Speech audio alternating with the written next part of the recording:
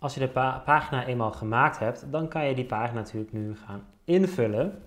Dus je klikt op je pagina en dan krijg je dit vak te zien. Dan kan je hier een titel toevoegen. En je kan ook, even kijken, hier bij pagina container weer het een en ander aanpassen. Ehm, en wat je dan kan gaan doen is ja, tekst toevoegen, afbeeldingen toevoegen, misschien wel video's ook toevoegen. Kan met insluiten ook een YouTube video toevoegen. Of als je veel met Lightroom werkt, kan je zelfs een heel Lightroom album erin plaatsen. Dit spreekt redelijk voor zich. Je kan uh, dus bijvoorbeeld gewoon beginnen met uh, tekst zo. Dan kan ik hier een beschrijving maken.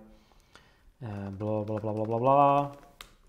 En dan kan ik, als ik met mijn muis hier overheen ga, gewoon weer verder gaan met bijvoorbeeld een afbeelding plaatsen of een afbeelding raster. Dus afbeeldingen naast elkaar, zeg maar, et cetera. Um, de tekst is standaard grijs. Dat stoor ik me altijd een beetje aan.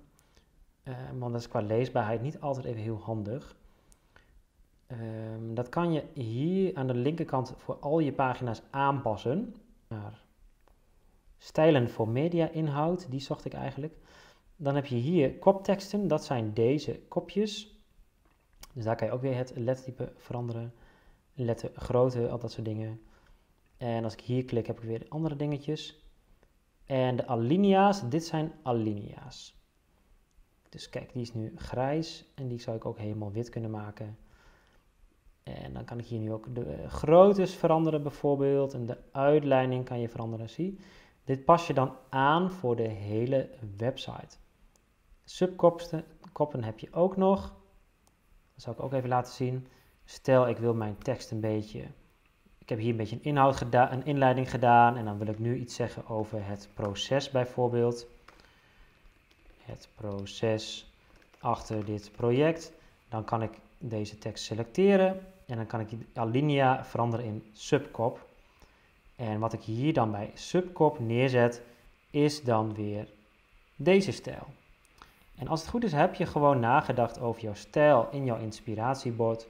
Dus dan kan je jouw lettertypes hierin overnemen. Als je dat niet goed gedaan hebt, ja, dan moet je toch echt eerst even daar goed over nadenken.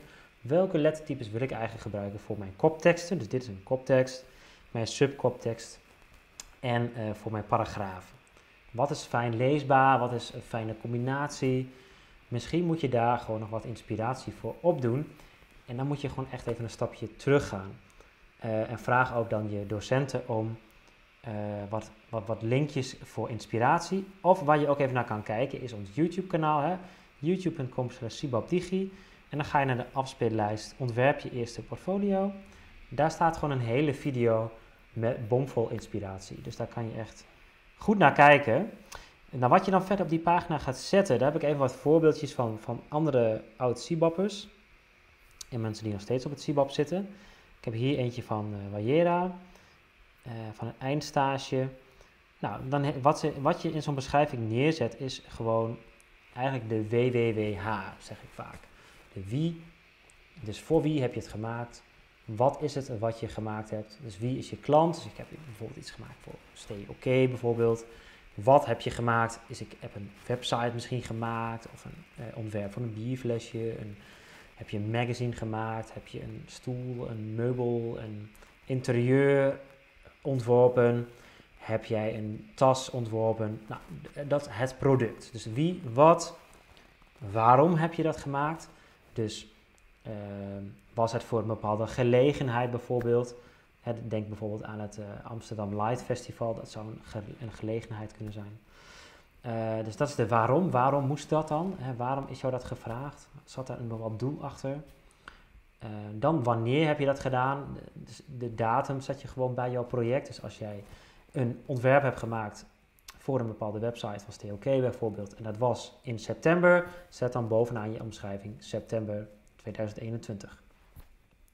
Um, ehm, nou, dus dat was de wanneer. Dan heb je nog de, uh, dus ik had de wie, de wat, waarom, uh, en dan heb je nog dus de, de waar is dan soms nog, kan relevant zijn. Dus in zo'n Amsterdam Light Festival, ja, het, speelt zich af in Amsterdam. Best belangrijk. Uh, en Stay bijvoorbeeld was heel gericht ook op Amsterdam. Om volgens mij de mensen ook naar Amsterdam te trekken. Dus dat is ook weer heel relevant. Uh, en dan heb je nog de hoe. Hoe heb je dat dan gedaan? En dat is jouw proces. Dus uh, hoe heb jij het project aangepakt? Nou, dat, is de, de wie, de wat, de waarom, de waar en de hoe. WWWH.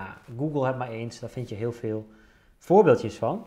Uh, nou, hier zie je dat bij Wayera. Ik weet niet of ze per se dat helemaal heeft um, gebruikt, maar dit is wel een beetje zo'n houvast daarvoor.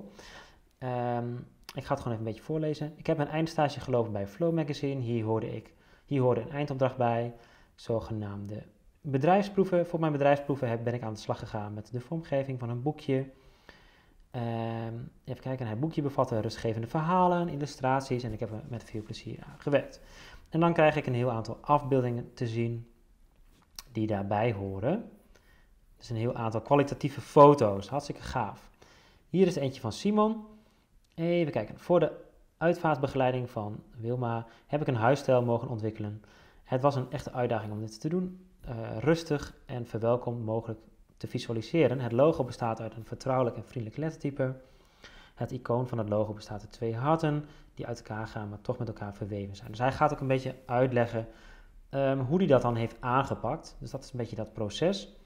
Um, en even kijken, de kleurencombinatie van zandbeige en plantgroen stralen rust en hoop uit. Dus zo gaat hij zijn keuze zeg maar een beetje verantwoorden.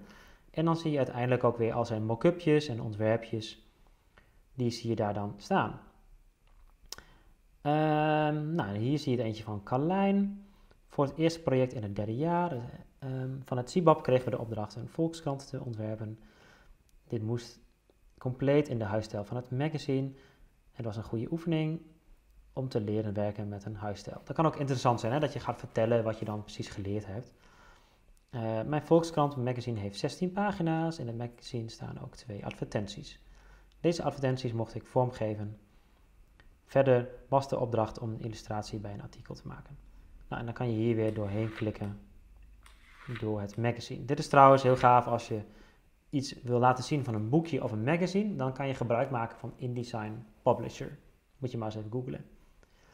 Um, en dan heb ik hier eentje nog van Tom Oelen, animator.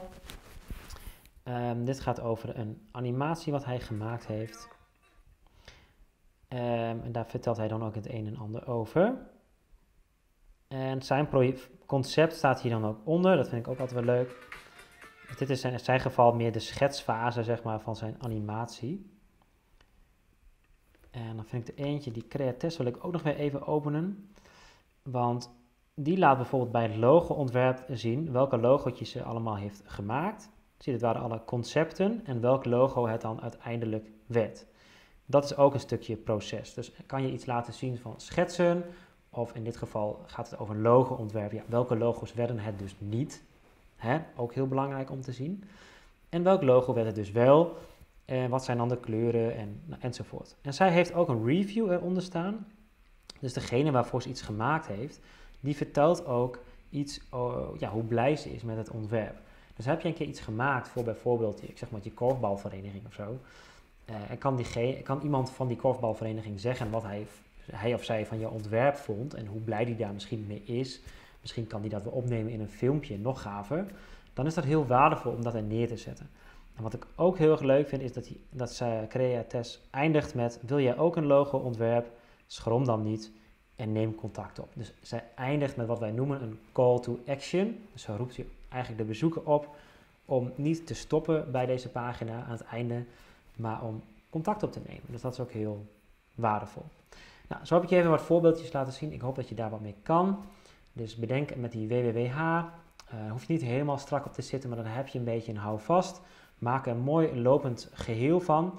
De tekst hoeft ook niet per se bovenaan je site te staan. Het mag ook een beetje afwisselen met foto's. Dat is ook heel erg interessant. Uh, of video's. Uh, maak er een mooi geheel van en maak het overtuigend. en het hoeft niet hele pagina's vol met tekst te zijn, zoals je hier ook ziet. Met een paar regels. Dat is ook gewoon voldoende. Maar zorg wel dat elke pagina die je hebt een stukje tekst krijgt. Succes!